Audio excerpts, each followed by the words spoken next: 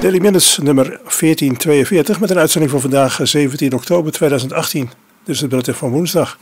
Ja, vanavond is er vanaf half negen lokale tijd. Na een pauze van twee weken weer een uitzending van Slowscan Radio. In totaal 11 SSTV-beelden. Ik begin met, met uh, tekst in MFSK 64. Alles automatisch schakelend. Uh, daarna schakelt hij nog naar een andere naar een paar andere digitale modus over. Ja, deze moet foutloos, want ik heb niet zoveel tijd om het in te spreken. Met de drukte van de uitzending vandaag, veel werk en een nieuw babyhuisdier die me de afgelopen nacht eh, deels uit de slaap gehouden heeft, is er vandaag alleen een wat korte daily minutes. Voor de kattenliefhebbers maak ik dat wel een beetje goed met meerdere filmpjes van Roderikje op het YouTube kanaal. Roderick is het eerste katertje dat ik heb. Hij is tien weken oud, dus echt nog heel klein. En ik kan melden dat hij zo jong al een grote interesse heeft in de techniek. Ja, echt waar. hij weet het ook vaak beter dan ik. Als ik iets type bijvoorbeeld, dan probeert hij geregeld met twee pootjes een bijdrage te leveren aan de tekst die ik aan het maken ben. Dat is niet altijd even welkom, maar wel heel grappig.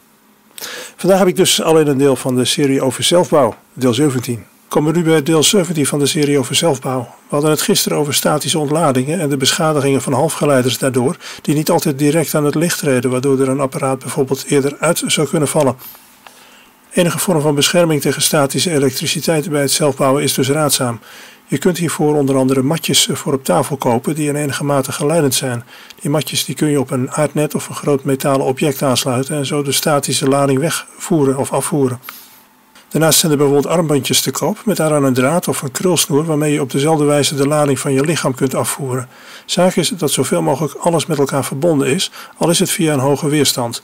De weinige lading die er dan is, die vloeit vanzelf af. Als ik in een situatie ben waarbij er geen echte bescherming hiertegen bij de hand is, dan tik ik voordat ik begin met werken even iets van metaal aan, bijvoorbeeld de verwarming of een waterleiding. Als je een grote metalen kast hebt waar je een ongeverfd deel van kunt aanraken, dan is dat vrij zeker ook genoeg. Ik heb zelf op de plek waar ik soldeer een metalen voet van een tafel met een groot metalen frame. Als ik snel iets moet doen, dan trek ik mijn sok uit en dan doe ik mijn voet zolang als ik werk tegen een niet geverfd deel van dat metaal aan. Zo'n geleidend matje waar ik het net over had, kun je als je er niet bij de hand hebt eventueel ook vervangen door een krant waarbij je met een plantenspray lichtjes water erop spreekt. Moet beslist niet nat zijn, maar wel een beetje vochtig. Ik heb op die manier in 1980 mijn TRS-80 computer van een versie met 4 kilobyte geheugen omgebouwd naar eentje met wel 16 kilobyte. Schakelingen die je toegestuurd krijgt, die zitten vaak in antistatische zakjes. Daar kun je ze ook mooi in opbergen, niet weggooien dus. Vaak hebben dat soort printplaten metalen connectoren, zoals bijvoorbeeld bij de Raspberry Pi waar de USB-connectoren zitten. De buitenkant van die connectoren die zitten dus aan massa. Dus dat is een goede plek om een dergelijke print aan vast te houden. Je hebt de massa van de print vast en je hoeft niet in de buurt van de printbanen te komen. Je kunt het beter wel serieus nemen. Het is zo vervelend als je zelfgebouwde schakeling hierdoor meteen al niet werkt. En ook als hij door dezelfde oorzaak al snel weer kapot raakt. Heb hier zelf trouwens een morse waarin veel ongebufferde digitale IC's zitten. Die kier die heb ik in 1976 op Veroboord in elkaar gezet. En dat ding dat doet het dus nog steeds. Kennelijk heb ik in die tijd dit dus op een goede manier gedaan. Dit is deel 18 van de serie over zelfbouw. Ik heb gisteren al gemeld, maar vandaag gaan we het hebben over de 7800 serie stabilisator IC's. En met echt wel dank aan Nano dus. Toen ik in de eerste helft van de 70 jaren met zelfbouwen begon, waren deze handige IC's er dus nog niet. Een gestabiliseerde voeding voor een apparaat of voor een deel van je schakeling moest je in die tijd zelf nog met discrete componenten maken. Als er weinig stroom nodig was, dan kon je het met een weerstand en een zenerdiode af. Een zenerdiode is een diode die in de sperrichting, waar diodes normaal dus geen stroom geleiden, bij een bepaalde spanning tussen kathode en anode ineens wel gaan geleiden. Als je een dergelijke diode via een weerstand voedt, bijvoorbeeld een weerstand aan de plus en aan de andere kant van die weerstand de kathode en de anode van de diode aan de min, dan staat er op die zenerdiode de gespecificeerde spanning. Ze zijn in een heel scala aan spanningen leverbaar en je moet in een aantal gevallen nog wel iets aan de ruis doen die ook, die, die diode ook afgeeft, maar het zijn handige en eenvoudige dingen. Heb je meer stroom nodig, dan kun je bijvoorbeeld een zenerdiode met nog wat componenten eromheen aan een transistor aanbieden, de spanning die er vanaf komt.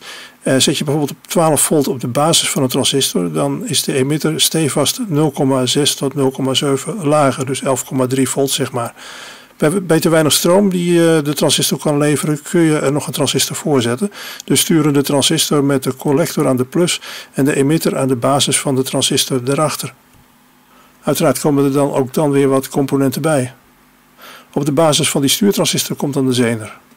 Nadeel van een dergelijke schakeling is dat als de stroom door de transistoren oploopt, ook de spanningsval tussen basis en emitter een beetje toeneemt. En als het om twee transistoren gaat, dan gaat het al een beetje, om een beetje meer variatie dan bij één. En dus is een dergelijke voering nog niet helemaal stabiel. Geavanceerdere ontwerpen hebben een regellus, waarbij de gelijkspanning vanaf de uitgang ergens in de schakeling wordt tegengekoppeld. Ook zit er vaak een stroombegrenzer in en nog zo wat, en al snel zit je met een behoorlijk gecompliceerde schakeling. De 7800 IC's hebben dat allemaal al ingebouwd. De 7800 is voor een positieve voedingsspanning. Er bestaat ook een 7900 die voor negatieve voedingsspanningen is gemaakt. Ze zijn in diverse voedingsspanningen leverbaar. De 7805 is bijvoorbeeld voor 5 volt. De 7812 is voor 12 volt. De 7815 voor 15 volt. En de 7824 voor 24 volt om een wat standaardwaarde te noemen. Op de ingang van het IC komt een spanning die minimaal een volt of 2 hoger is dan wat je wilt hebben. Het IC knijpt dan die spanning af tot de spanning die je wilt hebben. Je kunt overigens ook een hogere spanning op de ingang aanbieden dan die 2 volt hoger. Dan is de stabilisatie van de spanning op de uitgang beter, maar je moet ook meer warmte afvoeren, dus heb je een grotere koelplaat nodig.